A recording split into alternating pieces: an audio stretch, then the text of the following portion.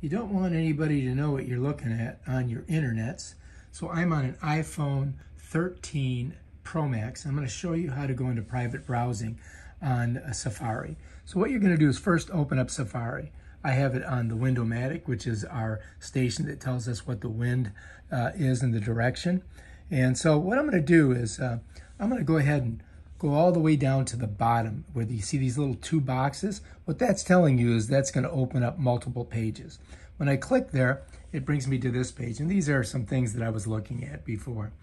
Um, at the bottom, you're going to see how many tabs are open. One, two, three, four. If you want to get to private browsing, what you have to do is click on that.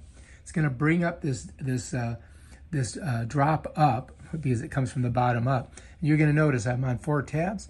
I can go to private by just clicking that. And there, we have uh, just initiated the private browsing mode. Safari won't remember the pages you visit, your search history, or autofill information after you close a tab in private browsing. That is crucial. Close a tab. You got to close the tab, otherwise it's still there.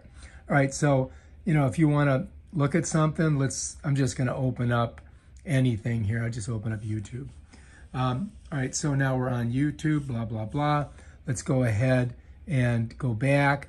And now, if you don't close this out, it will still be there. So what you have to do, if you want to make sure next time you go in here that it's gone, you got to just click this little X right there.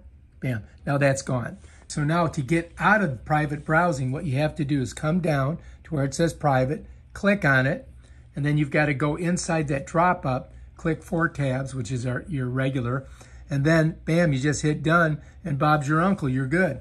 All right, if you like this video, subscribe to my channel and check out my other awesome videos where I show you how to do stuff. Peace out.